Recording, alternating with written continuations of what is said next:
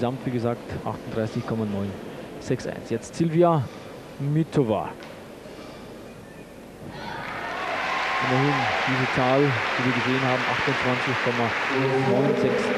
Da fehlt ein glatter halber Punkt, dann wäre sie auch über 29. Und damit könnte sie mit vorne dabei sein, aber ein Fehler am Stufenbahn hat alles zunichte gemacht.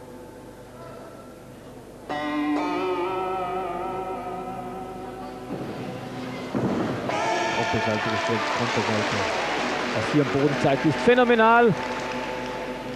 Das ist eine Übung der Extraklasse, verehrte Zuschauer.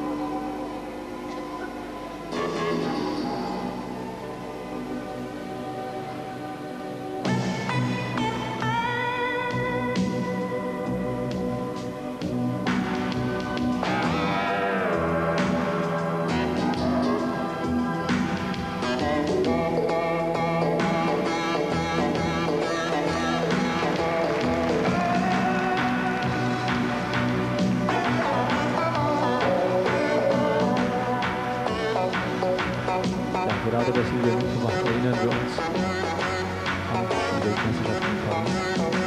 Da stellte sie auch am Boden Finale zu den Favoritinnen und dann plötzlich ging nichts mehr, leer der Kopf, mittendrin unterbrach die Übung. Und das ist überwunden. Seite rückwärts, Seite vorwärts.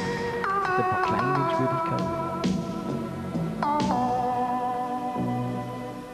Sie kann hier Europameisterin werden an diesem Gerät. Das ist allemal drin. Sie kann hier vor allem, das hoffen wir natürlich, Svetlana Boginskaya einen Zweikampf liefern. Sie hat sich vom Schrecken des Sturzes am Schwebebalken, am Stufenbarren, pardon, wieder erholt. Das ist an ihrer Bodenübung zu sehen gewesen. Doppelsalto gestreckt und dann der Salto vorwärts fast schon in Schrittstellung zum fließenden Übergang. Doppelschraube, wieder Salto vorwärts. Der Sprung gewaltig. Silvia Mitova.